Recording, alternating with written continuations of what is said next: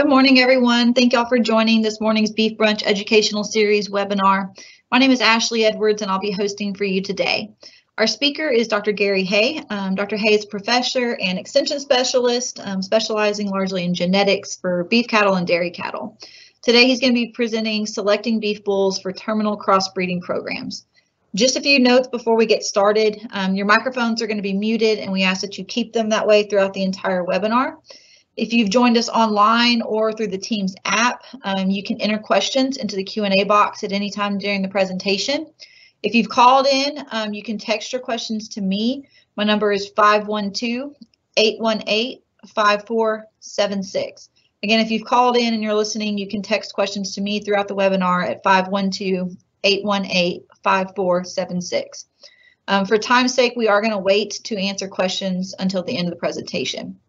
With that, Dr. Hay, thank you so much for joining us this morning. Um, and you should be able to start whenever you're ready. Okay, Dr. Edwards, thank you. Uh, I appreciate y'all inviting me to do this and, and uh, looking forward to the program. As uh, Dr. Edwards said, I'm going to be talking a little bit about selecting beef bulls for terminal crossbreeding. Uh, that's a question I get quite a bit. And it, uh, that people want to know what kind of bulls or what, what breeds to use uh, when they're going to just be producing terminal calves. And so I'm going to go ahead and start the presentation and uh, we'll get in, get right into it. As most of you know, I'm sure crossbreeding is a is a really common tool used in the beef industry. It's an excellent method for improving economic value in commercial beef cattle herds. Uh, and the reason it works so well, it takes advantage of two different genetic effects that are produced when you cross two or more breeds of cattle. The first set of uh, effects are called additive genetic effects, and these are the genetic effects which have a direct impact on phenotypic performance for a specific trait, and I emphasize the word direct impact. These effects are caused or passed directly from one generation to the next by way of the individual genes. In other words, it's these individual genes that affect the individual animal's uh, phenotype. In other words, the genes an individual inherits from each of its parents affects his performance, and those genes are not only inherited from the parents, but they're also passed on to the offspring. Okay, when you're talking about bull selection in, in any program, whether it's terminal select, uh, crossbreeding, rotational, whatever, remember that half of the genes in your calves come from the bull. So selecting a bull with superior genes for specific traits is a very important factor in, in determining the performance of your calves. Keep in mind that even though one a, a cow normally produces one calf a year, that bull you're producing or you're using uh, is probably leaving somewhere between 10 and 20, maybe 25 calves a year in your herd. Selecting a bull with inferior genetics for specific traits is not going to produce high performing calves regardless of his breed. And some people kind of make the mistake of thinking, well, you know, I want to uh, I want to crossbreed, and so I'm going to go buy a bull of this specific breed, and that's going to help uh, produce better calves. Well, if that's just a just a bull, and he's he doesn't have superior genetics for the traits that you're trying to improve, then he's he's really not going to uh, improve the performance in your calves very much. so when you're selecting bulls, even in a crossbreeding situation, I highly recommend that you always look at the EPDs on those bulls and compare and select your bulls based on these those uh, EPD comparisons, even in a uh, crossbreeding program. And the reason is EPDs are the only really accurate method for determining which bulls are genetically superior for an individual trait. And you can see from this slide, I've given a brief description of what EPDs are.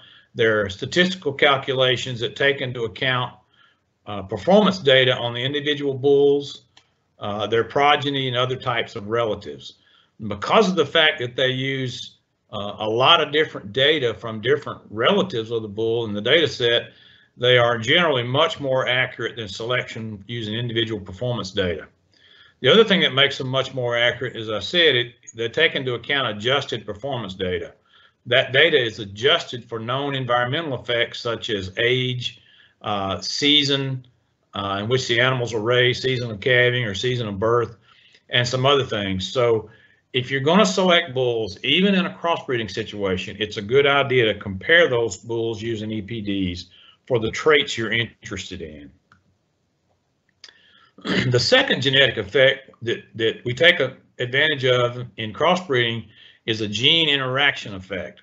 These are genetic effects on phenotypic performance for individual traits that are caused by combinations of genes that the individual inherited from its parents. In other words, if, if it's a crossbred individual, he got half his parent, his genes from his, let's just say Angus sire and half from his Hereford dam, then the combination of those genes and how they interact will enhance the phenotypic performance for many traits in that offspring, in that F1 cross. And that effect is called heterosis or hybrid vigor. I'm sure most of you have probably heard of hybrid vigor. Uh, and there's been a lot of studies done. There's a lot of studies done on that uh, in the past, and still some studies being done in the beef industry. And it's been found that for some of these traits, like particularly growth traits, uh, if you get the right combination of, uh, of genes, you can get up as much as a 28% uh, enhancement in phenotypic performance in those F1 crosses and those F2 crosses. All right, but you got to keep in mind that heterosis or hybrid vigor is a phenotypic effect that is caused by an underlying genetic interaction. The phenotypic effect itself is not passed to the crossbred calves, just the underlying gene combinations that cause the effect. So if you take these F1 calves or F2 calves that are very fast growing, you know, large, heavy muscle, fast growing, uh, and you breed them, that effect on their phenotypes is caused by an underlying gene combination that is not passed on to their offspring because they don't pass that combination. They pass one or more of the genes, but not both of them.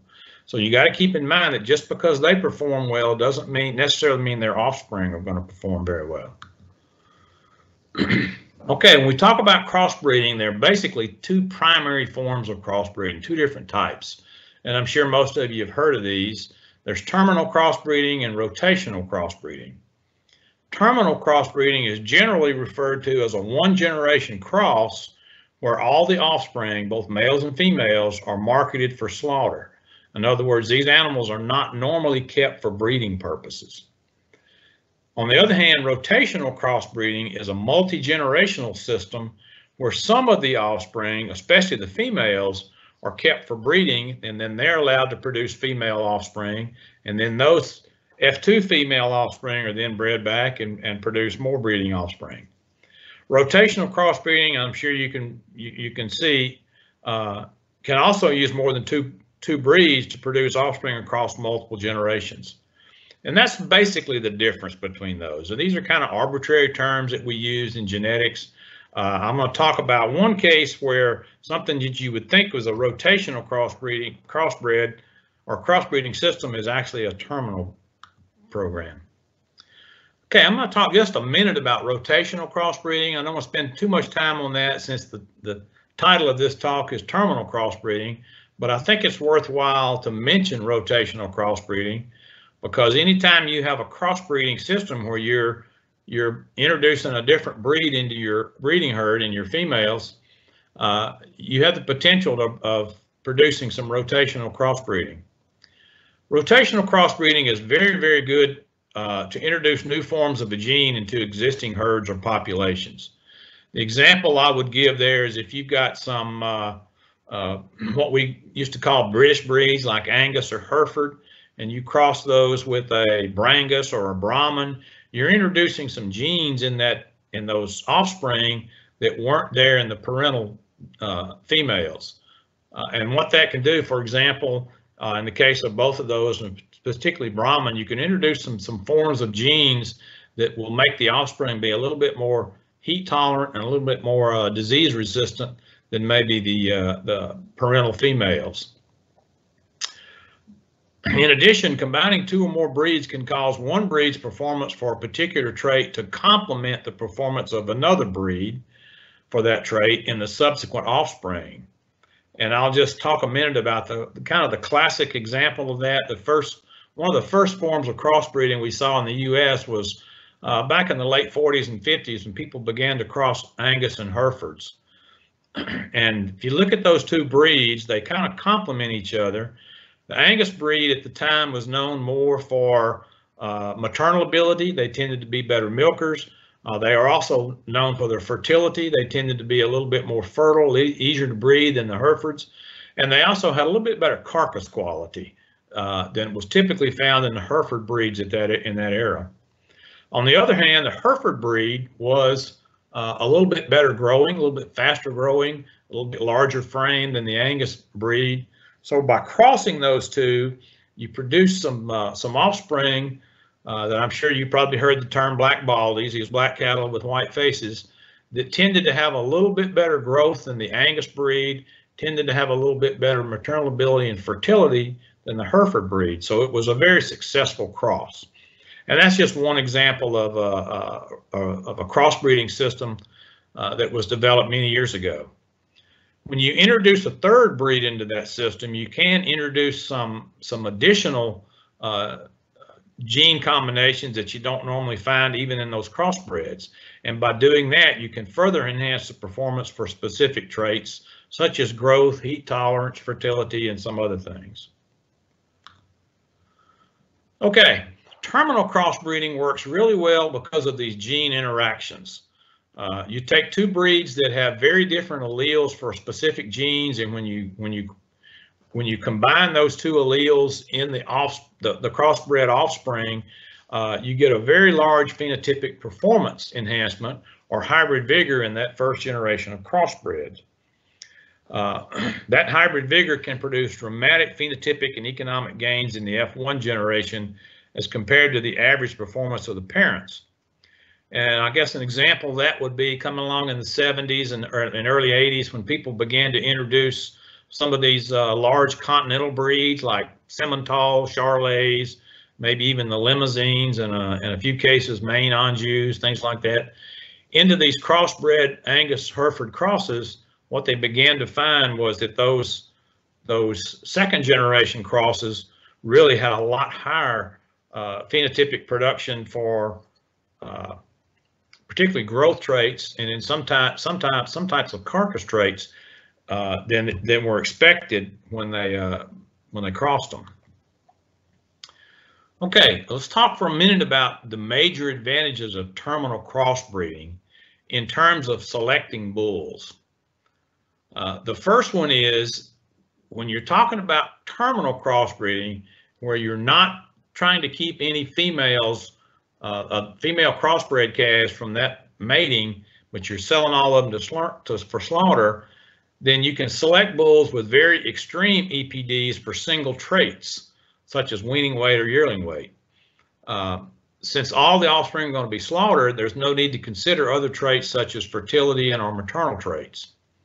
In other words, you can pick some bulls that have EPDs that are that are right at the top of the breed for growth traits like yearling and weaning weight uh, without causing any subsequent problems with maternal effects or fertility in the next generation because you're not keeping any of those calves for breeding purposes.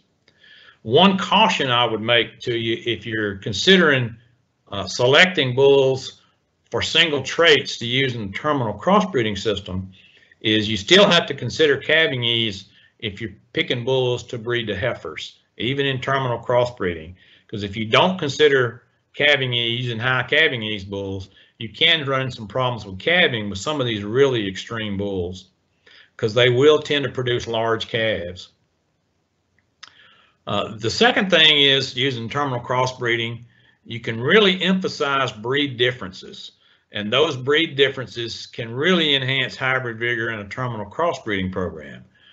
And an example I've got for that is if you take a Brahman bull or a Brangus bull or something like that, or if you take something like a Charolais or a Limousin, which is a very large breed compared to uh, these these Hereford Angus British breeds, and you take that that bull and you breed him to a to a Hereford Angus cross or some other type of smaller breed cross, then you're going to get some extreme genetic differences between that sire breed and those those crossbreed animals, and that will lead to a lot of hybrid vigor in the offspring of that breeding and what we call the F2 generation, the second generation crossbred.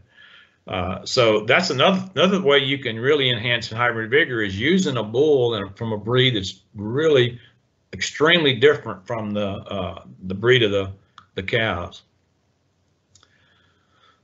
Okay, keep in mind when you when you're talking about what traits you ought to be considering, keep in mind that the primary focus of a terminal crossbreeding program is usually the performance of the crossbred calves being produced.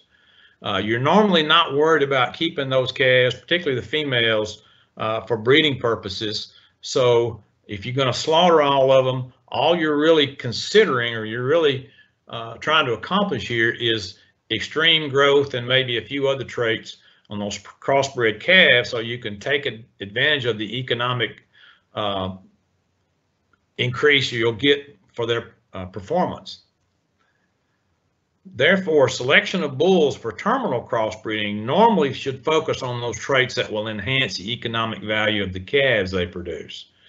And all of you know, uh, some traits have more economic values than others, and you should place more emphasis on those traits, particularly in a terminal crossbreeding uh, program. And for example, as you all know in the beef industry, we market calves by weight normally. So growth traits typically have more economic value than other traits since cattle are marketed by weight. One advantage of growth traits also in a terminal crossbreeding system is uh, these growth traits have a moderate heritability.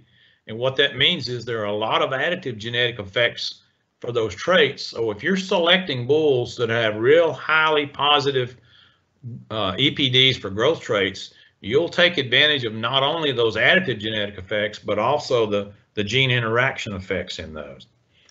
Uh,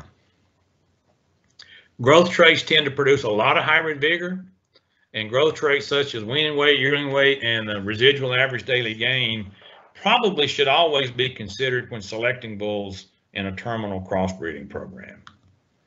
Uh, you can also consider carcass traits. They also have a lot of economic value uh, in a terminal crossbreeding system. And selection for those have an added advantage that they will not only produce hybrid vigor, but they are also highly heritable. In other words, they have a lot of genetic effects that affect these carcass traits, and you can make a lot of genetic improvement through selection in one generation. Uh, however, to take advantage of that, uh, you got to market those cattle so that you can take advantage of those economic improvements in carcass traits. If all you're doing is producing crossbred calves and selling them at weaning, then you're probably not going to get full advantage of those uh, economic improvements in those crossbred calves due to due to improved carcass traits. If you're, excuse me, backgrounding those those calves for a while, or if you're marketing them in a way to a to an order buyer or to a feedlot buyer or someone, uh, and you can show them that you have considered carcass traits and these cattle should have really good carcass characteristics, then uh, you might be able to get a, a, an economic advantage out of the, the buyer for that. Okay, normally in a terminal crossbreeding situation, you don't keep the female offspring from that crossbred generation. So selection of bulls for maternal and or fertility traits really doesn't have a lot of value in a terminal crossbreeding program. You're strictly producing calves to sell to their slaughter market in normal circumstances. So what you're really going to take advantage of there are growth traits and carcass traits. Now, I don't have this in a slide, but I want to take just a minute to, to give you an exception to that. There are some cases where if you are producing these F1 female crossbreds and you're marketing those as uh, mama cows, then you can take advantage of terminal crossbreeding uh, and you can take advantage of selection for some other traits other than just growth and carcass traits. The example of that I'll give you is uh, someone that is maybe maintaining some Brahman and Hereford cattle and they're crossing them and producing these F1 tiger stripe females. Uh, and then those are marketed, or you can keep them yourselves. They're marketing to other producers as a uh, female calf producer, as a, as a mama cow. And then what that person would do is, is take that F1 female, breed her to some other breed of bull like a Charolais or a Brangus or something, and produce these F2 calves. The advantage of those F1 females in that situation is they tend to these maternal effects and uh, and and uh, fertility effects also seem to respond very well to hybrid vigor. So those F1 females will produce calves that grow a lot faster and, and you know market a lot better. Uh, so that's an example of, of an exception to uh, to the case of not selecting for maternal or fertility traits in a terminal crossbreeding system. In that case, I would strongly advise someone that is producing F1 females to sell to other commercial producers to use as mama cows. I would strongly encourage you to include maternal and fertility traits in those cattle uh, because they are going to be used as mama cows and you want cattle that not only have good maternal ability uh, to, to, to produce better, faster growing calves, but you also want them to have better uh, than, than average reproductive performance so they'll breed back and you can use them for more than just one year, use them for several years. Now the drawback of doing that is uh, you probably most of the time don't want to keep the F2 females that are a result of those, say F1 Tiger Stripe females, because those are going to be half some other breed, a quarter Brahman and a quarter Hereford, and you don't know exactly, it's very unpredictable what kind of maternal and, and, and fertility traits uh, are characteristics that, that those F2s will inherit. So it's probably not a good idea to keep those females and in that case, what that means is that person that's purchasing those F1s are going to have to keep coming and, and purchasing F1 replacement females. So you basically use those F1s until they'll no longer breed back or don't produce good calves, and then you replace them with the younger. And that's probably the one exception I would I would mention for a terminal crossbreeding program. And you, you can call that a terminal program because you're not you're not keeping the offspring of those F1 females for uh, breeding purposes. Uh, once you do that, once you keep those F2 females, then it's no longer terminal crossbreeding. It's rotational crossbreeding. You're starting to rotate another breed in there uh, for those latter generations. Okay, the last thing I'll kind of talk about here real quick, finally, is even in a terminal crossbreeding system, I would recommend producers, I would strongly recommend producers never use crossbred bulls to breed your cows, regardless of whether those crossbred bulls came from your herd or someone else's. You may have a young bull in your herd that is extremely fast growing. He's got, you know, he's got great conformation. He's straight on the top lines, got good feet and legs, and he has, uh, you know, heavy muscle and so forth. The problem is if he's a crossbred, uh, he's probably not going to pass those characteristics on to his offspring in a very predictable manner. When you when you breed that crossbred bull, you just really don't know what you're going to get. You don't know if you're going to get the genes from his his sire parent or his, his dam parent. Because of random chromosome segregation that occurs in the formation of gametes, you, you can never predict which which genes a crossbred bull is, will pass on to his offspring. And remember, he passes on a random sample of his genes through his chromosomes, but he doesn't pass on the combination of genes which may have given him superior phenotypic performance. Consequently, his genetic value for any given trait to pass on to his offspring is really completely unpredictable. You're much better off using purebred bulls uh, or at least certified bulls that you can get some EPD information on. Okay, how do you determine which breeds to use in a terminal crossbreeding program? Okay, I'll give you three little tips that I that I tell producers. First of all, to determine which which bulls to use, use EPDs to select genetically superior bulls for the traits which are going to increase the value of your calves. Okay, if you use those EPD values, you're taking advantage of not only their additive genetic effects, but any of those gene combinations they may they may have. As I said earlier in the slide, just picking a bull just because of his breed doesn't necessarily uh, guarantee that you're going to get superior calves from that bull. The second tip I would give you is try to select bulls which will tend to maximize hybrid vigor for economic economically valuable traits in your calves. And those bulls are the bulls, if you remember, remember what I mentioned earlier, those are bulls that are from breeds that are really vastly different from the, the, uh, the crossbred calves or the crossbred females or the purebred females that you have.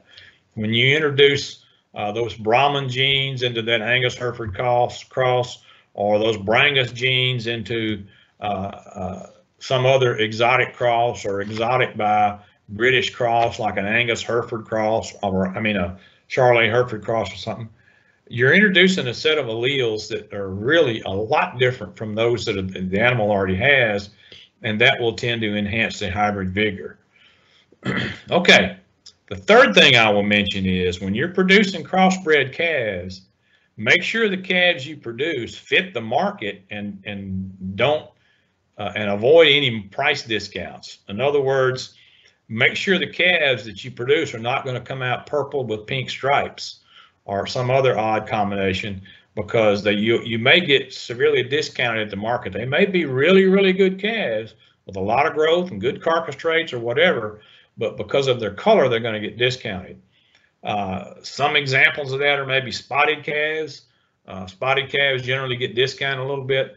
Uh, there was a time uh, several years ago when uh, yellow or, or uh, light brown tan calves got discounted at market.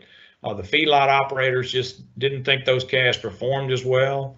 Uh, so a lot of people that were using Charolais and the brown Simmentals and the crossbreed terminal crossbreeding programs probably got got discounted a little bit. Probably probably discounted enough that it almost offset the advantage they got in hybrid vigor. So try to avoid those combinations. I guess my best advice to you there is is get in touch with someone who's aware of the market, someone who's been either buying calves for a feedlot or selling calves to a feedlot, someone who's well aware of what's going on in the market, maybe even your local uh, auction barn uh, operators to tell you kind of what kind of crosses to to avoid to avoid those types of price discounts. Okay, that's about all I was going to talk about in terminal crossbreeding. Uh, be more than happy to answer any questions if you got any.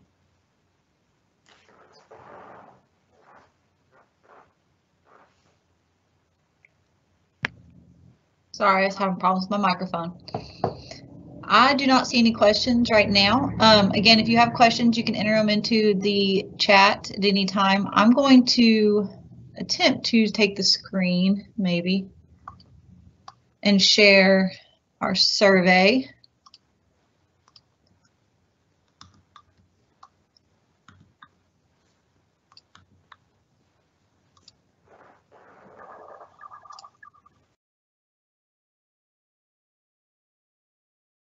Okay. Um, this will be posted online, um, hopefully within the next few days. And so if you have any questions, um, and you're watching either this recording or you've thought of some questions later after you've watched this, you can reach out to me and I'll send those questions to Dr. Hay and get those answered for you. And we do have a survey that we ask that you please take just a few minutes to complete. You can do that a couple of different ways. So you can follow the instructions here by viewing the QR code uh, with your camera and clicking on the notification banner and going directly to the survey. I'll also link the survey in our podcast and video descriptions as well. Um, Again, Dr. Hay, thank you so much for your time this morning. It looks like you're going to get off easy without any questions today. Um, but again, I'll forward any of those to you if they come in at a later date. Um, if you have any questions regarding our Beef Brunch series, please feel free to reach out to me. Uh, my contact information is in the video and podcast descriptions. If there's something you'd like to hear um, from any of us in the future, um, any topics that you would like us to present a webinar on, you can also send those my way. We're working on putting together everything for 2022. Um, Dr. Hay, thank you again, and we will see y'all next year. Thank you, Ashley, and you guys have a very happy holidays. You too.